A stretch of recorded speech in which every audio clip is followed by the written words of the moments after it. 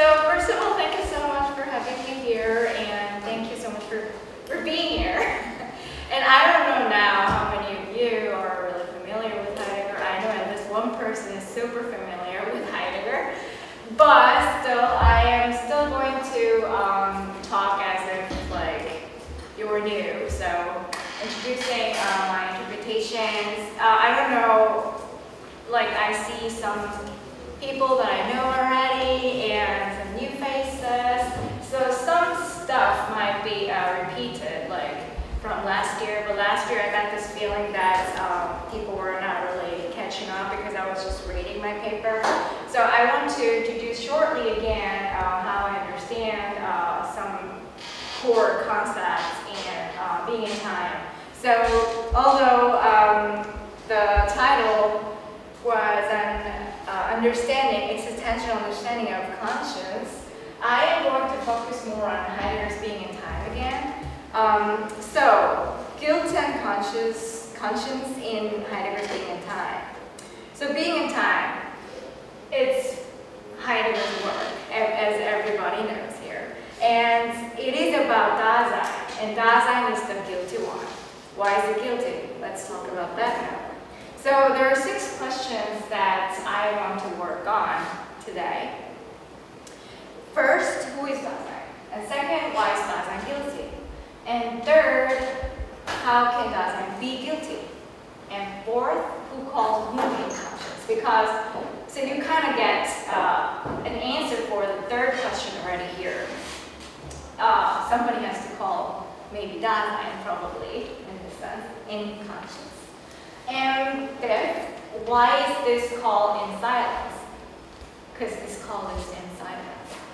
And six, is this moral phenomenology? Is this ethics? Can Being and Time or Dasein's analysis uh, be an ethical theory? Can we see it that way? I want to um, ask that question and try to answer in one way because there are many different ways and many different interpretations. So, who is Dasein? Dasein is a nickname. It's menschliches Dasein, which means human Dasein. So it's every one of us. And what makes Dasein, what makes Dasein? That's a very important question. Dasein first cares about its own being. Dasein cares about itself. And what does that mean by that? That means Dasein cares enough that it asks itself the meaning of its own being. And by questioning the meaning of this being, of its own being, Dasein understands itself already.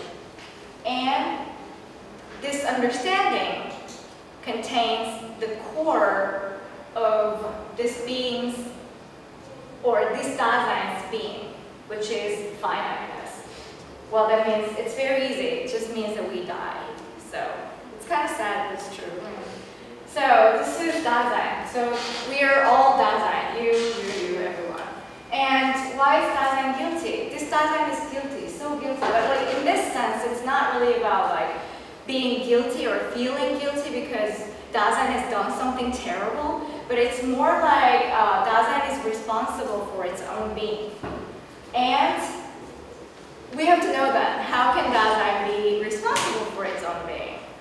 And this is how I understand this structure. And this is the structure of Dasein's existence, Dasein's being. And this structure itself is actually the structure of Dasein's understanding or self-understanding in this sense. So let's see. So now, now here, Dasein's here. Now at this moment, now we're here in the world. We're thrown in the world. But we think about the future in the sense, like, for example, oh, it's been so long today, what do I want to do after this session? Probably, well, we have another thing coming up, right? But like, probably even after that, like, we probably want to go for cold beer or something nice, like, you know, we think about these things in the future. Well, in this way we exist, uh, put it in a very simple way. So let's say that is we're running towards the future by thinking of what possibilities we have in the future. And these possibilities are the possibilities of being.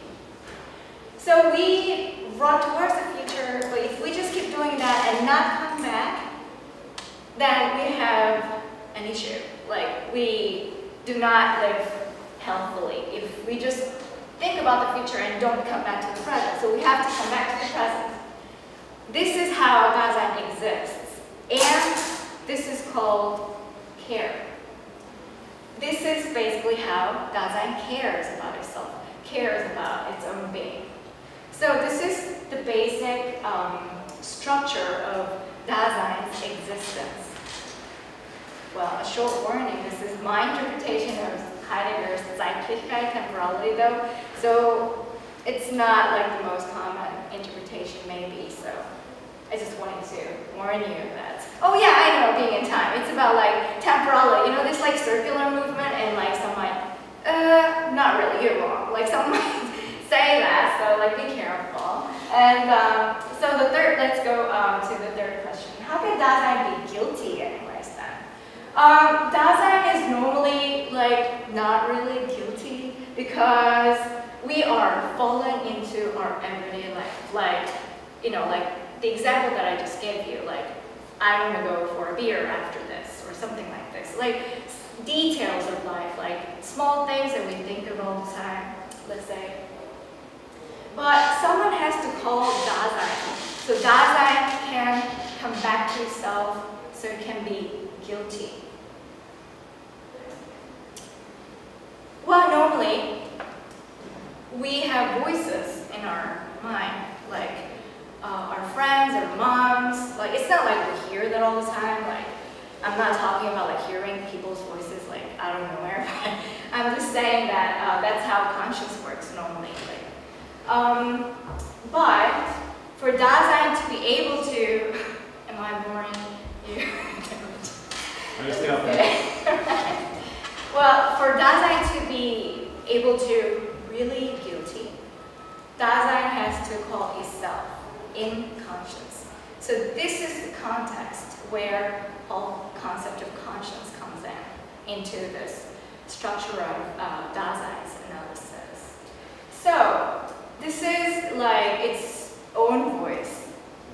Mm, but it's not really about to awake myself or Dasein for itself, like to wake itself, to know what's good and what's bad, but it's more to know my own being in other, in other words, to know that I exist finitely, or the structure to understand, to see the structure of my existence.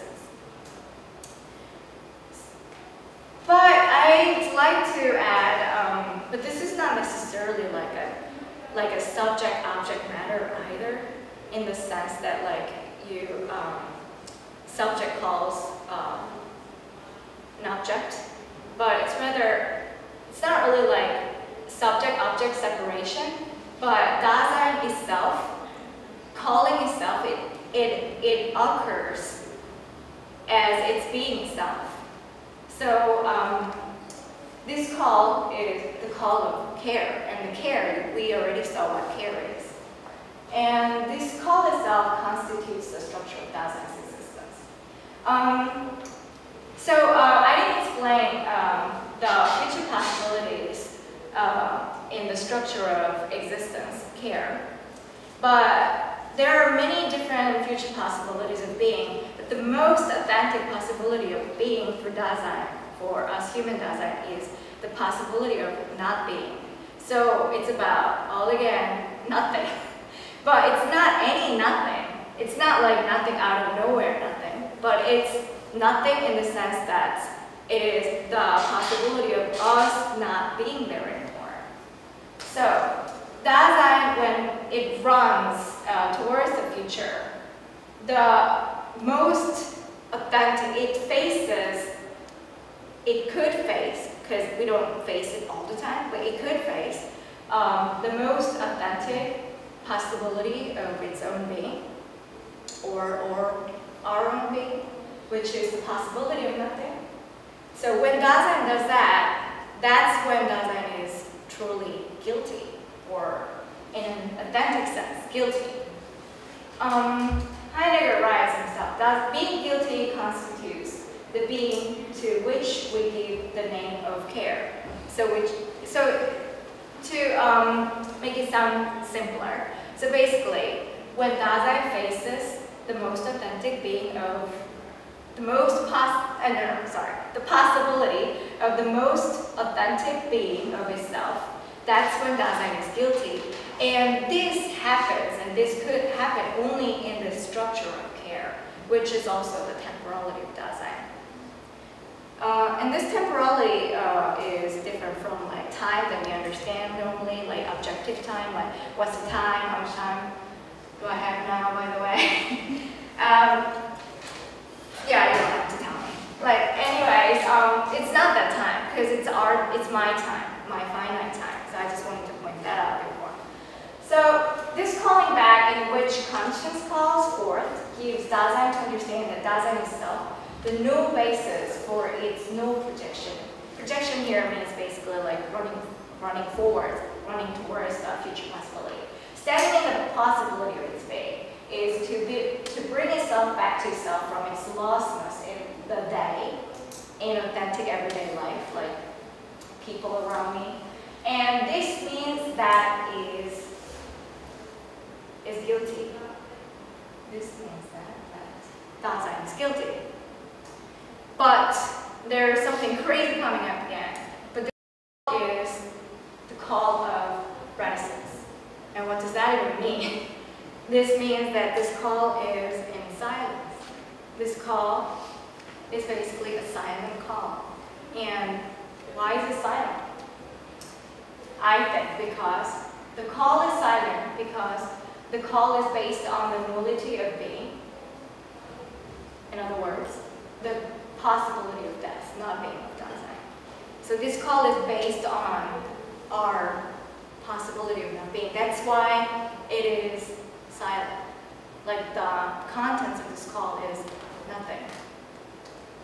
Second, um, this call is in silence because the ethical issues are silence and existential This means being cannot be morally judged or evaluated, I argue, because who deserves to live and who doesn't? Like, who judges that and who answers that? For example, like when a person who is seriously injured by a car accident is brought to a trauma surgeon, the surgeon doesn't and cannot or shouldn't ask first if the person's life was moral or immoral, if the person deserves to live or die. They have to first try to make this person to be healed and survive, even if that person was maybe not the most moral person. But then, is Dasein's analysis moral phenomenology? Well, before I answer the question, I have to go uh, through this question. If Dasein's analysis, Being and Time itself, is phenomenology. But, uh, well, I, I rather say yes and no. Yes, in the sense that Heidegger takes phenomenology as a method not really as a pure philosophy like Husserl did. But Heidegger takes phenomenology as a method, and by phenomenology, Heidegger says phenomenon and logos. So phenomenon, logos, like what is revealed to us so we can understand that. And this understanding part uh, comes with this logos part, logic. So in, that in this sense, it's like, yes, phenomenology, but also no in the sense, not in this Husserlian phenomenology. But is this moral phenomenology? Rather no, I rather say. Because like, it's, the answer is already uh, revealed um, in question four. Because the primordial being guilty cannot be defined by morality, since morality already so, uh, presupposes it for itself. Well, by this mean, by this I mean basically that being good or being bad or being moral, immoral, it comes after our ontological questioning and understanding. So in that sense, Heidegger's uh, Dasein's analysis, Being and Time, I argue that this cannot be really considered as moral phenomenology. Well, one could argue, but this is all about death, isn't it? And when somebody faces death or somebody understands that that person is going to live only finally, we all do, but like when they do dramatically, they tend to have better attitudes towards life in general. But I think, yeah, eventually they do. But I think that also comes only after this um, authentic understanding of our existence. So, I mean, this might uh, sound like uh, not very important question, but I wanted to uh, clarify uh, this question concerning this um, guilt and conscience uh, chapter of Being and Time because it's a big question uh, for Heideggerian studies if there is ethics in Heidegger's early Heidegger studies or not. So this is my one answer to that question. Thank you.